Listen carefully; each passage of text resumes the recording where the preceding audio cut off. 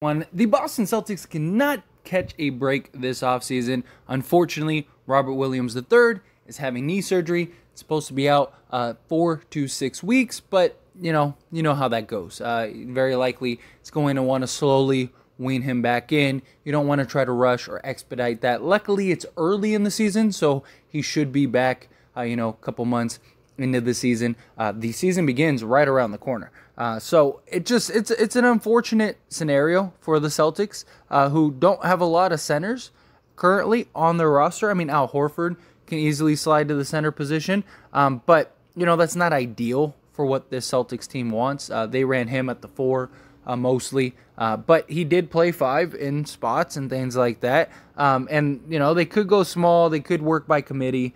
Um, it just sucks because a team that was just in the NBA Finals with aspirations of trying to get back there this season, you know, they go and get some nice, solid pieces, and uh, you know, uh, uh, Brogdon, Malcolm Brogdon, and then also Danilo Gallinari, who he ends up getting hurt, right? And he's very likely out for the season. And so there were all the talks of like, you know, is Carmelo Anthony coming? Or what are they going to do?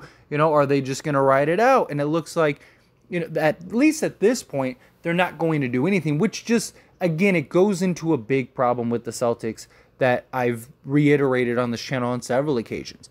Problem is, is that they are already too reliant on Jayson Tatum and, uh, you know, Jaylen Brown. And the two of them having to play 40 minutes a night just for the Celtics to win some games, especially come playoff time. And we saw them just kind of get worn down and just kind of get burnt out. And that was the thinking with the, you know, the Brogdon and Gallinari deals, right? You get those, that's perfect. You got a guy that can come in, he can alleviate Marcus Smart, he can alleviate, uh, you know, uh, Jaylen Brown, uh, he, and then you have Gallinari, he can relieve uh, a uh, Jayson Tatum or play the four, Al Horford. You know, you got these guys that can kind of play multiple positions because guys like Brogdon, like he's a guy that's six five, you know, and has a good wingspan, has good size. Uh, so he could be a guy that could even play the three if you needed him to, um, which he still can. But now that you don't have Gallinari, that hurts. And then on top of that, you now don't have Robert Williams. It just you're dropping flies before you even get into the season, and that's just not a good sign. And it brings up the concerns of Robert Williams uh, just being an injury prone player. I mean, he's constantly having these little things. Like, is he ever going to be able to be a center that they can count on year in and year out uh, to, to stick with it long term? We've seen many centers uh, that with tons of potential, tons of possibility. Uh, just have very short careers because they can't stay healthy on the court. I mean, look at guys like Greg Oden. Greg Oden was considered the, the next sure thing, bona fide superstar and his numbers were great until he got hurt.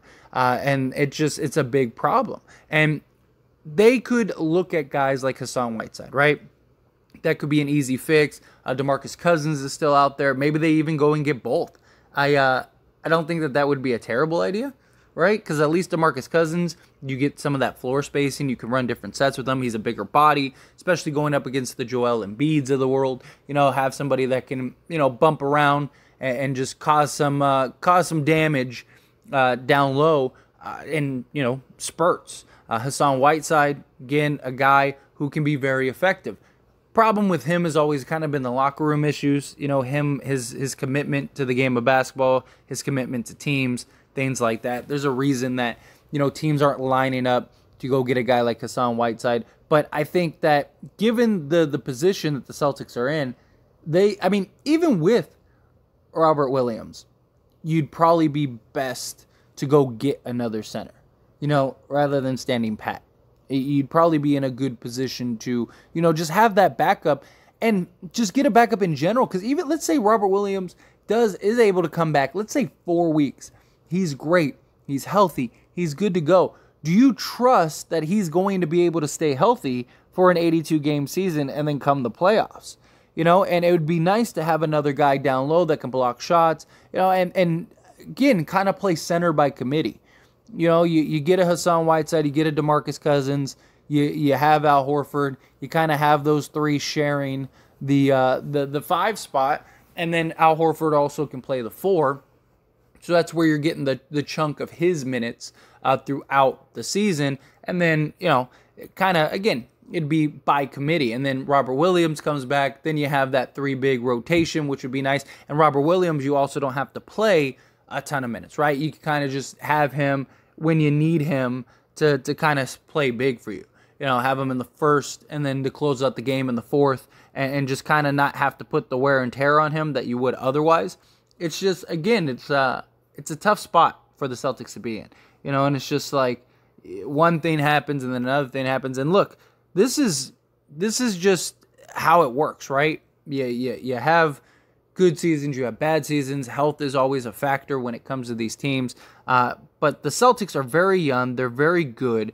I think they got a lot of experience from just that playoff run into that finals run. I think that they really could make some noise if all the all the health can get cleared up or if they can just get the depth necessary. You know, I still think that the the the biggest issue is to to get these two guys that you see on screen time off. You know, I'm not saying that they have to miss games entirely, but you need to be able to get guys. That's why I like the idea of going and getting like a Carmelo Anthony or something like that. Go get another wing player that can give these two more of a break so that way they're not just getting worn down over an 82 game season because you're going to be good enough regardless to get into the playoffs. You need these two at their peak, you know, as healthy as can be, 100%. You know, you, you heard the Jayson Tatum that he broke his finger uh, or, his wrist, I'm sorry, on his uh, on his shooting hand uh, and and stuff like that, and he just was talking about that, and you know whether that's true or not, to me it kind of sounded a little odd, like really, like that you you were able to play like that, you know, you didn't tell anybody, like you were able to hide that this whole, you know, uh, back end of the season and in the playoffs and in the final. I don't know. You know, I, I don't know why he'd make that up, but it's just, it's a little weird um, that that would be the case. But even if that is the case, that's more of a reason why you need to get some depth around these two.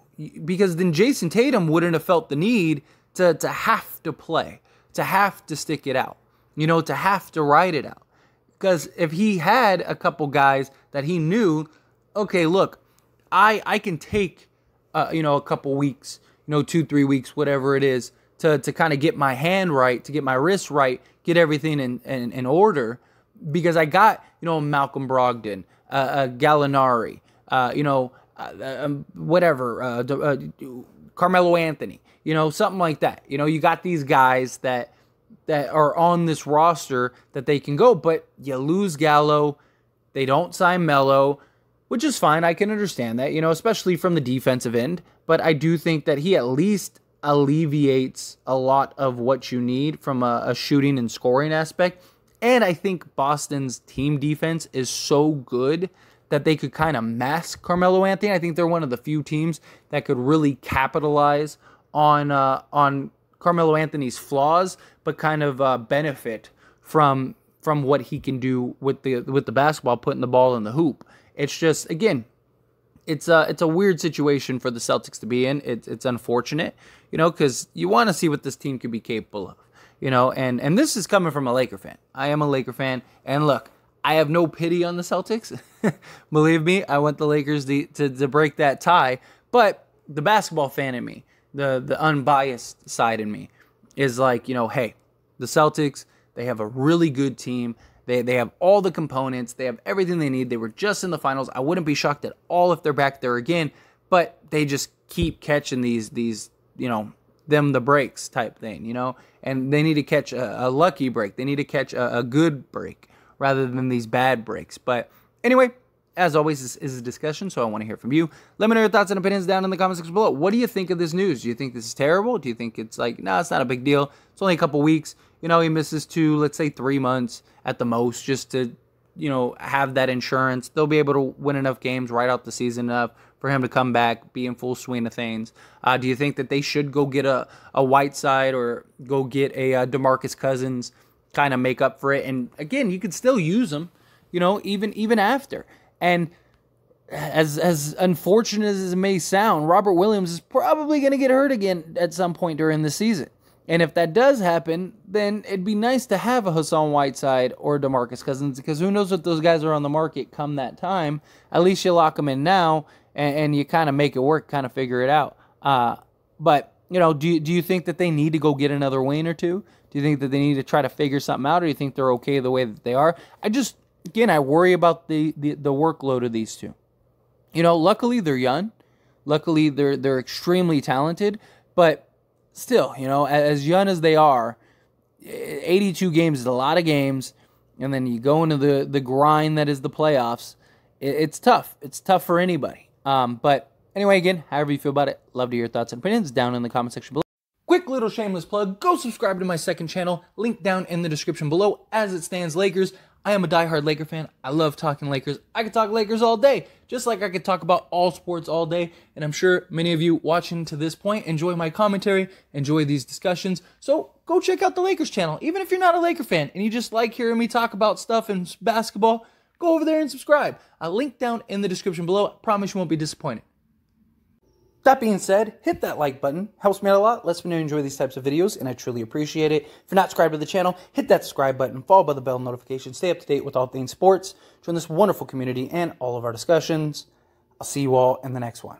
Thank you.